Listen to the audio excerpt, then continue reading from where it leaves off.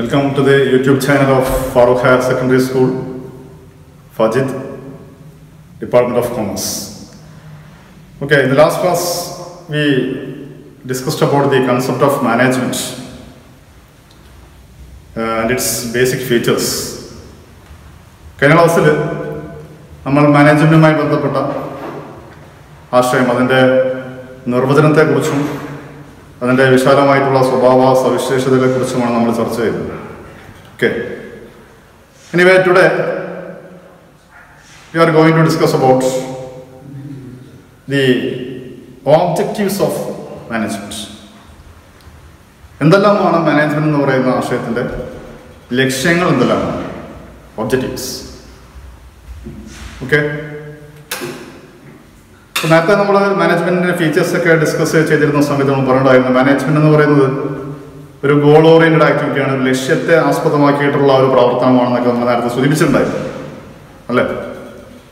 അതുകൊണ്ട് മാനേജ്മെന്റിന്റെ ഓബ്ജക്റ്റീവ്സ് നമ്മൾ വിശകലനം ചെയ്യുമ്പോൾ mainly we can say that there are three objectives of management പ്രധാനമായിട്ടും മൂന്ന് ലക്ഷ്യങ്ങളാണ് മാനേജ്മെന്റ് എന്ന് പറയുന്ന കൺസെപ്റ്റിനുള്ളത് okay first The first objective of management is uh, organizational objectives. സ്ഥാപനപരമായ ലക്ഷ്യങ്ങൾ അപ്പോൾ സ്ഥാപനപരമായ ലക്ഷ്യങ്ങൾ എന്ന് പറയുമ്പോൾ those objectives which are set by the management for the organisation എന്നുള്ളതാണ് മാനേജ്മെന്റ് സ്ഥാപനത്തിന് വേണ്ടി ഉണ്ടാക്കിയിട്ടുള്ള ലക്ഷ്യങ്ങളാണ് എന്ത് ലക്ഷ്യങ്ങൾ എന്ന് പറഞ്ഞാൽ ഓർഗനൈസേഷണൽ ഒബ്ജക്റ്റീവ്സ് അഥവാ സ്ഥാപനപരമായ ലക്ഷ്യങ്ങൾ എന്ന് പറഞ്ഞാൽ. ഓക്കെ ഇപ്പൊ മാനേജ്മെന്റ് സ്ഥാപനത്തിന് വേണ്ടി ഉണ്ടാക്കിയിട്ടുള്ള ലക്ഷ്യങ്ങൾ. അത് നമ്മൾ ഒന്നും കൂടി നമ്മൾ ചിന്തയ്ക്ക് വിധേയമാക്കുമ്പോൾ ഈ ഓർഗനൈസേഷൻ ഒബ്ജക്റ്റീവ്സ് നമുക്ക് മൂന്ന് കാര്യങ്ങളാണെന്ന് നമുക്ക് മനസ്സിലാക്കാം. ഏതൊക്കെയാണ് മൂന്ന് കാര്യങ്ങൾ? സർവൈവൽ പ്രോഫിറ്റ് ആൻഡ് ഗ്രോത്ത് നിലനിൽപ്പ് ലാഭം അതേപോലെ വളർച്ച. ഈ മൂന്ന് കാര്യങ്ങളും മാനേജ്മെന്റിന്റെ എന്ത് ഒബ്ജക്റ്റീവ്സിന്റെ പരിധിയിൽപ്പെടുന്നതാണ് ഓർഗനൈസേഷൻ ഒബ്ജക്റ്റീവ്സിന്റെ പരിധിയിൽപ്പെടുന്നതാണ്? സർവൈവൽ നിലനിൽപ്പ്. അല്ലെ survival is the basic objective of basic organisation objective of management മാനേജ്മെന്റിന് അടിസ്ഥാനപരമായിട്ടുള്ള ഓർഗനൈസേഷൻ ഒബ്ജക്റ്റീവ് എന്ന് പറയുന്നത് തീർച്ചയായിട്ടും സർവൈവലാണ് ആദ്യം നിലനിൽക്കണം. നിലനിൽക്കുക എന്ന് പറഞ്ഞാൽ ഏതൊരു ബിസിനസിനെ സംബന്ധിച്ചും വളരെ അത്യാവശ്യമായിട്ടുള്ള കാര്യമാണ്. അപ്പൊ ആദ്യം സർവൈവ് ചെയ്യണം മാർക്കറ്റിൽ നിലനിൽക്കണം. സർവൈവ് ചെയ്താൽ മാത്രം മതിയോ? പോരാ. എന്ത് വേണം? പ്രോഫിറ്റ് വേണം ലാഭം ഉണ്ടാക്കണം. അപ്പോൾ നിലനിൽക്കണം ലാഭം ഉണ്ടാക്കണം പിന്നീട്. ലാഭം ഉണ്ടാക്കിയാൽ മാത്രമേ ബിസിനസ്സിന് അവരുടെ കോസ്റ്റും അതുപോലെ തന്നെ അവരുടെ റിസ്ക്കും എല്ലാം കവർ ചെയ്യാനായിട്ട് സാധിക്കുകയുള്ളൂ. അപ്പോൾ ലാഭം ഉണ്ടാക്കണം. അപ്പൊ സർവൈവ് ചെയ്യണം പ്രോഫിറ്റ് ഉണ്ടാക്കണം. മതിയോ? പോരാ. പിന്നെ എന്ത് വേണം? വളരണം. ആര് വളരണം? ബിസിനസ് വളരണം. ഗ്രോത്ത് വേണം. ഇപ്പൊ ഗ്രോത്ത് എന്ന് പറയാൻ ഉദ്ദേശിക്കുന്നത് ബിസിനസിന്റെ എങ്ങനെയാണ് നമ്മൾ ഒരു ബിസിനസ് വളർന്നു നമുക്ക് മനസ്സിലാക്കാൻ സാധിക്കുക? ബിസിനസിന്റെ വിൽപ്പനയുടെ ക്വാണ്ടിറ്റി വർദ്ധിക്കുക. അല്ലെങ്കിൽ അവർ ഉൽപ്പാദിപ്പിക്കുന്ന ഉൽപ്പന്നങ്ങളുടെ ഔട്ട്പുട്ട് അതിന്റെ ക്വാണ്ടിറ്റി വർദ്ധിക്കുക. അല്ലെ? അല്ലെങ്കിൽ തൊഴിലാളികളുടെ എണ്ണം വളരെയധികം വർദ്ധിക്കുക. നിലവിലുള്ള ശാഖകൾ എത്രയാണോ ആ ശാഖകളുടെ എണ്ണം മറ്റു പല സ്ഥലങ്ങളിലായിട്ട് ബിസിനസ് ബ്രാഞ്ചസ് ആരംഭിക്കുക. അപ്പൊ ഇതെല്ലാം ബിസിനസ് എന്ത് ചെയ്യുന്നു എന്നുള്ളതിന് അടയാളമാണ് ബിസിനസ് വളരുന്നു എന്നുള്ളതിന് അടയാളമാണ് അപ്പൊ അത് ഗ്രോത്ത് ആണ് ഞാൻ പറഞ്ഞത് ബിസിനസിന്റെ ഓർഗനൈസേഷണൽ ഒബ്ജക്റ്റീവ്സ് എന്ന് പറയുന്നത് മൂന്ന് കാര്യങ്ങളാണ്. Survival profit and growth okay then the second objective of management ബിസിനസിന്റെ ബിസിനസ് മാനേജ്മെന്റിന്റെ രണ്ടാമത്തെ ലക്ഷ്യം എന്ന് പറയുന്നത് സോഷ്യൽ ഒബ്ജക്റ്റീവ്സ് അഥവാ സാമൂഹിക ലക്ഷ്യങ്ങൾ. നമുക്കറിയാം ബിസിനസ് നിലനിൽക്കുന്നത് സമൂഹത്തിലാണ്. അതുകൊണ്ട് തന്നെ മാനേജ്മെന്റ് പ്രവർത്തിക്കേണ്ടത് ആരുടെ താല്പര്യങ്ങൾക്ക് അനുകൂലമായ രൂപത്തിലായിരിക്കണം. സമൂഹത്തിന്റെ താല്പര്യങ്ങൾക്ക് അനുകൂലമായ രൂപത്തിലായിരിക്കണം. ശരിയല്ലേ? ബിസിനസ് നിലവാരമുള്ള ഉൽപ്പന്നങ്ങൾ മാത്രമേ ഉപഭോക്താക്കൾക്ക് കൊടുക്കാൻ പാടുള്ളൂ. ഒരു തരത്തിലുള്ള ആന്റി സോഷ്യൽ ആക്ടിവിറ്റീസിലും സമൂഹത്തിന് ഹാനികരമായ രീതിയിലുള്ള ഒരു പ്രവർത്തനങ്ങളിലും ബിസിനസ് ഏർപ്പെടാൻ പാടില്ല. ഗവൺമെന്റുമായി ബന്ധപ്പെട്ട ഉത്തരവാദിത്തങ്ങളെല്ലാം ബിസിനസ് കൃത്യമായിട്ട് പാലിക്കണം.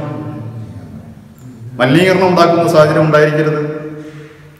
അപ്പൊ ഈ പറഞ്ഞ കാര്യങ്ങളെല്ലാം തന്നെ ബിസിനസ് ഒരു സാമൂഹിക സ്ഥാപനം എന്നുള്ള രീതിയിൽ ആ ബിസിനസിന്റെ മാനേജ്മെന്റ് പുലർത്തേണ്ടതായിട്ടുള്ള എന്ത് കാര്യങ്ങളാണ് എന്ത് ലക്ഷ്യങ്ങളാണ്? സാമൂഹിക ലക്ഷ്യങ്ങളാണ് സോഷ്യൽ ഒബ്ജക്റ്റീവ്സ് ആണ്.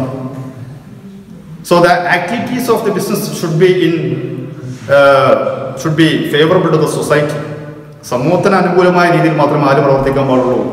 ഒരു ബിസിനസ് അഥവാ ഒരു ബിസിനസ് മാനേജ്മെന്റ് പ്രവർത്തിക്കാനായിട്ട് പാടുകയുള്ളൂ. So second objective is social objective മൂന്നാമത്തെ കാര്യം third objective is personal objective വ്യക്തിപരമായ ലക്ഷ്യം. ഇപ്പൊ ബിസിനസ് മാനേജ്മെന്റ് പ്രവർത്തിക്കുന്ന സമയത്ത് അവിടെ ധാരാളം വ്യക്തികളുണ്ട്. ഈ വ്യക്തികളുടെ താല്പര്യങ്ങളും സ്ഥാപനത്തിന്റെ താല്പര്യങ്ങളും തമ്മിൽ ഒരുമിപ്പിക്കേണ്ട അത് തമ്മിൽ ഒരു ഐക്യം ഉണ്ടാക്കിയെടുക്കേണ്ട ഉത്തരവാദിത്തം ആർക്കുണ്ട് മാനേജ്മെന്റിനുണ്ട് അല്ലേ? അതായത് അവിടെ ജോലി ചെയ്യുന്ന തൊഴിലാളികൾ അവർക്ക് പേഴ്സണലായിട്ടുള്ള ഒബ്ജക്റ്റീവ്സ് ഉണ്ട്. എന്തൊക്കെയാണ്? അവർക്ക് നല്ല ബെറ്റർ സാലറി ലഭിക്കണം. ജോലി ചെയ്യാനുള്ള നല്ല സാഹചര്യങ്ങൾ അവർക്കുണ്ടായിരിക്കണം. കഴിയുമെങ്കിൽ അവരുടെ പേഴ്സണാലിറ്റി ഡെവലപ്മെന്റ് അതുപോലുള്ള ഗ്രോത്തിന് വേണ്ടിയിട്ടുള്ള കാര്യങ്ങൾ ബിസിനസ് സംഘടിപ്പിക്കണം. അപ്പോൾ ഈ രീതിയിൽ തൊഴിലാളികളുടെ ബെറ്റർമെന്റിന് വേണ്ടിയിട്ട് ചെയ്യേണ്ട കാര്യങ്ങളെല്ലാം തന്നെ യഥാർത്ഥത്തിൽ എന്ത് ഒബ്ജക്റ്റീവ്സിന്റെ പരിധിയിൽപ്പെടുന്നതാണ്? ഈ personal ഒബ്ജക്റ്റീവ്സിന്റെ പരിധിയിൽപ്പെടുന്നതാണ്.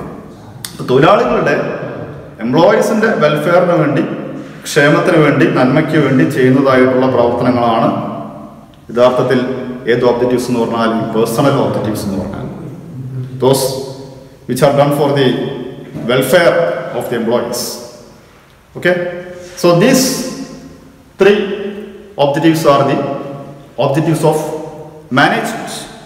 I repeat, organizational objectives, which includes survival, profit and growth, social objectives, and the third one, personal objectives. Okay. അപ്പോൾ നമ്മൾ മാനേജ്മെന്റിന്റെ ലക്ഷ്യങ്ങളെ കുറിച്ച് മനസ്സിലാക്കി.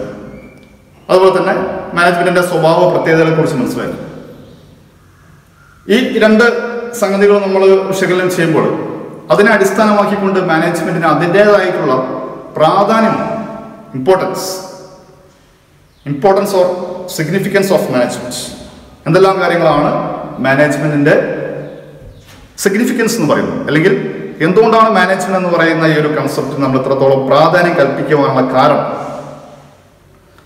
നേരത്തെ നമ്മൾ ഡിസ്കസ് ചെയ്ത പല കാര്യങ്ങളുമായി ബന്ധപ്പെട്ട ആശയങ്ങൾ തന്നെയാണ് ഇവിടെ വരുന്നത്. എന്നിരുന്നാലും ആസ് പെർ സിലബസ് എന്തെല്ലാമാണ് പ്രധാനപ്പെട്ട മാനേജ്മെന്റിന്റെ സിഗ്നിഫിക്കൻസ് അല്ലെങ്കിൽ ഇമ്പോർട്ടൻസ് നമ്മൾ മനസ്സിലാക്കേണ്ടതായിട്ടുണ്ട്.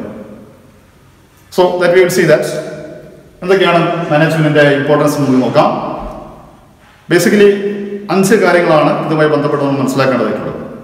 Okay first one is management helps in achieving group goals management helps in achieving group goals അപ്പോൾ ഇൻഡിവിജ്വൽ ഗോൾസും ഉണ്ട് അതുപോലെ തന്നെ ഗ്രൂപ്പ് ഗോൾസും ഉണ്ട് അല്ലേ? ഒരു സ്ഥാപനത്തിൽ ജോലി ചെയ്യുന്ന തൊഴിലാളിക്ക് ആ എംപ്ലോയിയുടേതായിട്ടുള്ള ലക്ഷ്യങ്ങൾ ഉണ്ടായിരിക്കാം. എന്നാൽ സ്ഥാപനത്തിൽ സ്ഥാപനത്തിന്റെതായിട്ടുള്ള ലക്ഷ്യങ്ങളുമുണ്ട് അപ്പോൾ നമുക്കറിയാം ഇൻഡിവിജ്വൽ ഗോൾസിനേക്കാളെല്ലാം എത്രയോ മുൻപന്തിയിലാണ് എന്ത് ഗോൾസിന്റെ സ്ഥാനം ഓർഗനൈസേഷണൽ ഗോൾസിന്റെ സ്ഥാനം ശരിയല്ലേ? അപ്പോൾ മാനേജ്മെന്റിന്റെ ഒരു പ്രാധാന്യം എന്ന് പറയുന്നത് ഈ ഗ്രൂപ്പിന്റെ ലക്ഷ്യങ്ങൾ നേടിയെടുക്കണമെന്നുണ്ടെങ്കിൽ എന്ത് അവിടെ ആവശ്യമാണ് മാനേജ്മെന്റ് അവിടെ ആവശ്യമാണ്. കാരണം ഗ്രൂപ്പ് പ്രവർത്തനങ്ങൾ എന്ന് പറയുമ്പോൾ വളരെ കൂടുതൽ വ്യക്തികൾ അവിടെ ജോലി ചെയ്യുകയാണ്.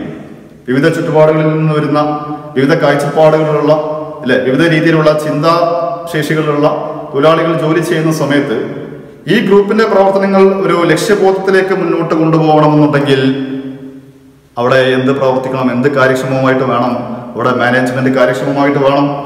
എങ്കിൽ മാത്രമേ ആ ഗ്രൂപ്പിന് എന്ത് നിലവാരാൻ സാധിക്കുകയുള്ളൂ അവരുടെ ലക്ഷ്യങ്ങൾ നിലവാരാൻ സാധിക്കുകയുള്ളൂ. അതുകൊണ്ട് first importance of management is management helps in achieving group goals group ലക്ഷ്യങ്ങൾ നേടിയെടുക്കുന്നതിൽ ആര് സഹായിക്കുന്നു? മാനേജ്മെന്റ് സഹായിക്കുന്നു. Okay second importance of management management helps in increasing efficiency management സ്ഥാപനത്തിന്റെ കാര്യക്ഷമത വർദ്ധിപ്പിക്കുന്നു.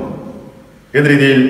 By the maximum utilisation of resources അഥവാ by minimum wastage of resources ബിസിനസ്സിന് ലഭ്യമായിട്ടുള്ള വിഭവങ്ങൾ പരമാവധി ഉപയോഗപ്പെടുത്തിക്കൊണ്ട് ബിസിനസിന്റെ കാര്യക്ഷമത വർദ്ധിപ്പിക്കുന്നതിന് ആര് സഹായിക്കുന്നു? മാനേജ്മെന്റ് സഹായിക്കുന്നു.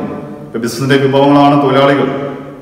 മൂലധനം യന്ത്രോപകരണങ്ങൾ അല്ലെ? എല്ലാ റിസോഴ്സസും എഫക്റ്റീവായിട്ട് യൂട്ടിലൈസ് ചെയ്യുവാനായിട്ട് മാനേജ്മെന്റിന് സാധിക്കുമ്പോൾ സ്വാഭാവികമായിട്ടും ബിസിനസ്സിന് എന്ത് വർദ്ധിക്കും കാര്യക്ഷമത വർദ്ധിക്കും. So management helps in increasing the efficiency okay third one മൂന്നാമത്തെ പ്രാധാന്യം helps in creating a dynamic organisation ചലനാത്മകമായിട്ടുള്ള ഒരു അന്തരീക്ഷം ഉണ്ടാക്കിയെടുക്കുന്നതിൽ ആര് സഹായിക്കുന്നു? മാനേജ്മെന്റ് സഹായിക്കുന്നു. നേരത്തെ നമ്മൾ മാനേജ്മെന്റിന്റെ ഫീച്ചേഴ്സ് ഡിസ്കസ് ചെയ്തതാണ് management is a dynamic function എന്നുള്ളത്. അപ്പോൾ അതുമായി ബന്ധപ്പെട്ട് തന്നെയാണ് ഈ ഒരു പ്രാധാന്യം പറയുന്നത്. ഇപ്പൊ ചലനാത്മകമായിട്ടുള്ള ഒരു അന്തരീക്ഷം ഉണ്ടാക്കിയെടുക്കുന്നു എന്ന് പറഞ്ഞാൽ ഇപ്പോ ബിസിനസ്സിൽ ഇടയ്ക്കിടെ മാറ്റങ്ങൾ വന്നുകൊണ്ടേയിരിക്കും. ഈ മാറ്റങ്ങൾക്കനുസരിച്ച് ആര് പൊരുത്തപ്പെടണം? തൊഴിലാളികൾ പൊരുത്തപ്പെടണം. അങ്ങനെ തൊഴിലാളികൾ പൊരുത്തപ്പെടണം എന്നുണ്ടെങ്കിൽ അതിനാവശ്യമായിട്ടുള്ള പ്രചോദനം ആ ചേഞ്ചസിനോട് എക്കസ്റ്റംഡ് ആവാനുള്ള ആ ചേഞ്ചസുമായിട്ട് ഫെമിലിയർ ആവാനുള്ള ഒരു പ്രചോദനം അല്ലെങ്കിൽ അതിനുള്ള ഒരു മോട്ടിവേഷൻ ഈ എംപ്ലോയീസിന് ആര് കൊടുക്കേണ്ടതാണ് മാനേജ്മെന്റ് കൊടുക്കേണ്ടതാണ്. അങ്ങനെ ആവശ്യമായിട്ടുള്ള പ്രചോദനവും ആവശ്യമായിട്ടുള്ള ഒരു ലീഡർഷിപ്പും എല്ലാം മാനേജ്മെന്റ് കൊടുക്കുമ്പോൾ മാത്രമേ തൊഴിലാളികൾക്ക് ബിസിനസ്സിൽ വരുന്ന ഏത് തരത്തിലുള്ള മാറ്റങ്ങളുമായിട്ട് എന്ത് ചെയ്യാൻ സാധിക്കുകയുള്ളൂ പൊരുത്തപ്പെടാൻ സാധിക്കുകയുള്ളൂ. അപ്പോൾ തൊഴിലാളികൾ ഏത് രീതിയിലുള്ള മാറ്റങ്ങളും ഉൾക്കൊള്ളും? Employees will be ready to accept any changes എങ്ങനെയാണെങ്കിൽ management അവരെ വേണ്ട രീതിയിൽ പ്രചോദിപ്പിക്കുകയാണെങ്കിൽ അപ്പോൾ ആ അർത്ഥത്തിലാണ് നമ്മൾ പറയുന്നത് മാനേജ്മെന്റ് എന്തുണ്ടാക്കിയെടുക്കുന്നതിന് സഹായിക്കുന്നു? ഒരു ചലനാത്മകമായിട്ടുള്ള അന്തരീക്ഷം ഉണ്ടാക്കിയെടുക്കുന്നതിന് സഹായിക്കുന്നു. Management helps in creating a dynamic organisation okay നാലാമത്തത് fourth one management helps in achieving personal objectives വ്യക്തിപരമായിട്ടുള്ള ലക്ഷ്യങ്ങൾ നേടിയെടുക്കുന്നതിൽ മാനേജ്മെന്റ് സഹായിക്കുന്നു. പേഴ്സണൽ ഒബ്ജക്റ്റീവ്സ് എന്ന് പറയുമ്പോൾ എംപ്ലോയീസുമായി ബന്ധപ്പെട്ടതാണ്. ഈ തൊഴിലാളികൾക്ക് അവരുടേതായിട്ടുള്ള ലക്ഷ്യങ്ങളുണ്ടെന്ന് നേരത്തെ സൂചിപ്പിച്ചു. ഈ എംപ്ലോയീസിന്റെ പേഴ്സണൽ ആയിട്ടുള്ള ഒബ്ജക്റ്റീവ്സ് നേടിയെടുക്കണമെങ്കിൽ ആരുടെ ശ്രമം ആവശ്യമാണ്? മാനേജ്മെന്റിന്റെ ശ്രമം ആവശ്യമാണ്. ഈ പേഴ്സണൽ ഒബ്ജക്റ്റീവ്സിനെ ഏത് ഒബ്ജക്റ്റീവ്സുമായിട്ട് മാനേജ്മെന്റ് കൂട്ടിയോജിപ്പിക്കണം? സ്ഥാപനത്തിന്റെ ലക്ഷ്യങ്ങളുമായിട്ട് മാനേജ്മെന്റ് കൂട്ടിയോജിപ്പിക്കണം? അപ്പോൾ വ്യക്തിപരമായിട്ടുള്ള തൊഴിലാളികളുമായി ബന്ധപ്പെട്ട വ്യക്തിപരമായിട്ടുള്ള ലക്ഷ്യങ്ങൾ നേടിയെടുക്കുന്നതിൽ ബിസിനസ്സിനെ അഥവാ തൊഴിലാളികളെ ആര് സഹായിക്കുന്നു? മാനേജ്മെന്റ് സഹായിക്കുന്നു. അതുകൊണ്ടാണ് എന്ത് പറയാൻ കാരണം? Management helps in achieving personal objectives വ്യക്തിപരമായിട്ടുള്ള ലക്ഷ്യങ്ങൾ നേടിയെടുക്കുന്നതിന് ആര് സഹായിക്കുന്നു? മാനേജ്മെന്റ് സഹായിക്കുന്നു. And finally management helps in the development of society സമൂഹത്തിന്റെ വികസനത്തിന് വേണ്ടി മാനേജ്മെന്റ് സഹായിക്കുന്നു. ഇപ്പൊ നല്ല കാര്യക്ഷമമായ രീതിയിൽ പ്രവർത്തിക്കുന്ന മാനേജ്മെന്റ് ആണെങ്കിൽ എന്താ അവിടെ സംഭവിക്കുക?